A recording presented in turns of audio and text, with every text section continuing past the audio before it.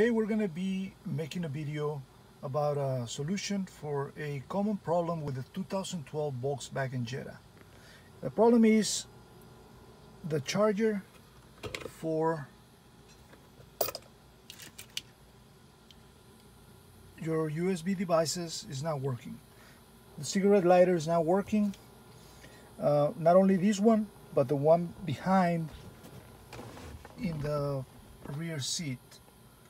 So one of the one of the things I've seen is happened to me twice within the last couple of years, and is the fuse that goes on this side of the vehicle is the one giving you a headache.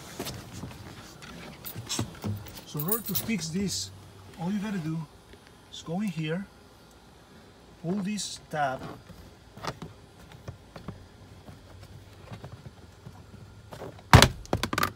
and that comes loose.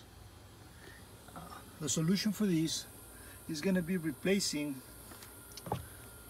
this fuse. It's a yellow fuse number 20. It's located next to the green fuse number 30. So as soon as you replace it, you will see on mine, I pulled the fuse and it was burned. You can tell it's burned when you look at this and it's actually not 100% connected. So as soon as I replace that, started my vehicle again and tried one of these lighters and you can see now it's working now we're gonna try the one in the back seat.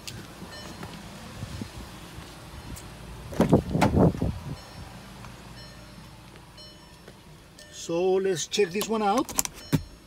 And now it's working. So both of them are now 100% thank you and I hope this video helped you